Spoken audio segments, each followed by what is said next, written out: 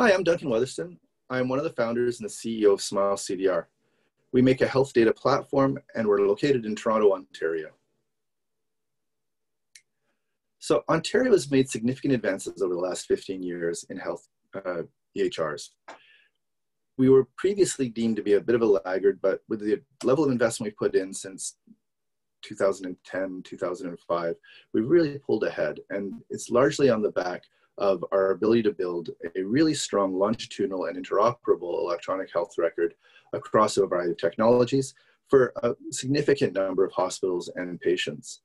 You know, we have in Ontario 14 million people, you know, several hundred hospitals, tens of thousands of clinicians, and all of them need to be able to interact with electronic health records for a variety of reasons, whether that's for healthcare, for research, for reporting, um, you know, for, for population health. It's, it's, it's, a, it's a very heterogeneous environment, and it's driven largely by our vision for the future in which healthcare is a continuum, and there is no distinction between electronic health and the delivery of healthcare.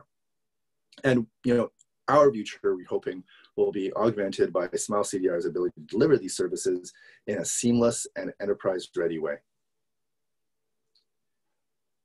FHIR is a global standard that has been developed with the intent to ensure that systems can interoperate both at a data level and at an API level. By, by, by describing operations that must be supported, it enables application developers to understand both how to access information and what information is there, which underpins the ability to create reusable and scalable applications using a standard called Smart on FHIR.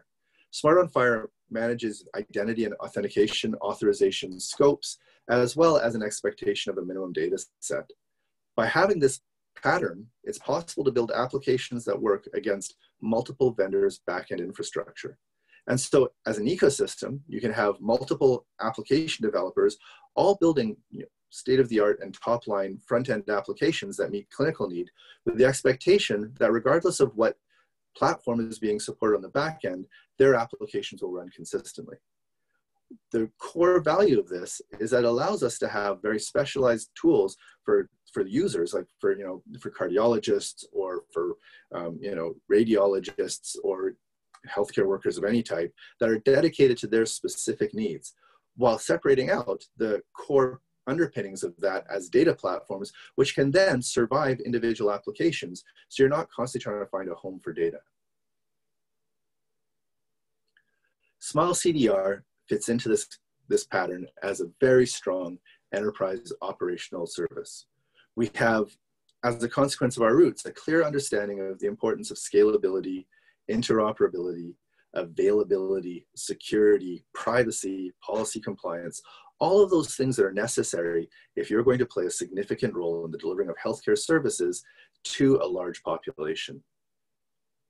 We're the maintainers of an open source package called HAPI FHIR, which is downloaded up to 50,000 times a month and is used globally.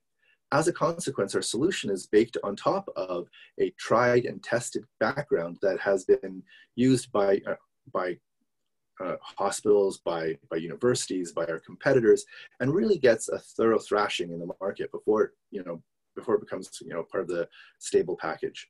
With that, we put, import it into our, our commercial offering, and we then add further enterprise capabilities over top of the ability to scale, the ability to, to support um, you know, new technologies such as Kubernetes, or or Kafka or other you know cool implementations of eMPI, our, our whole solution is driven by the idea that if you have a need that would be associated with scalability, support, all the things that you need as an enterprise, we've got that on top of our open source package, which has been tested in the real world. One of the key things that we get out of this, of course, is Canadian interoperability. In Canada, each of our provinces have different health standards, different, um, different integration patterns. They have policy differences for privacy and security. And consequently, the, the mix allows us to have, uh, or has caused us to have some challenges for data interoperability. By using a standard like FHIR, we're able to exchange information at the level that it's intended to be, the data and the characteristics, without having to enforce in that same process the policy and, and the privacy. Policy and privacy can be applied locally using the same infrastructure with separate instructions that fit the needs of the local jurisdiction. So for example, if your jurisdiction has a consent requirement that blocks all access, that can be implemented without impacting the data. If your jurisdiction requires that you have conditional consent, that can be impact, implemented without impacting the data. And into this mix, Smile CDR provides the capability to do both centralized and distributed data, data storage in a way that allows each province to retain its information, each location to retain its information, and yet all of them comply cleanly with the policies and practices of their jurisdiction. This last slide shows us that Smile CDR and HAPI FHIR are deployed globally.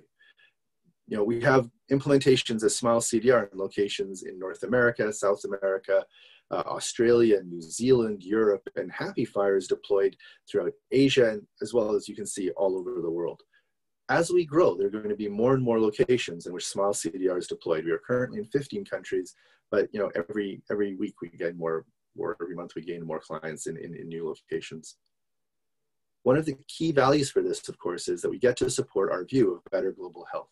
This idea that if we do a job in developed nations cleanly, we'll be able to support people in developing nations as they make the leap from paper-based solutions to full and rich interoperable healthcare systems without having to go through the trials and tribulations that we've gone through in going from paper to where we are today. With that, I'd like to thank you for listening to our presentation.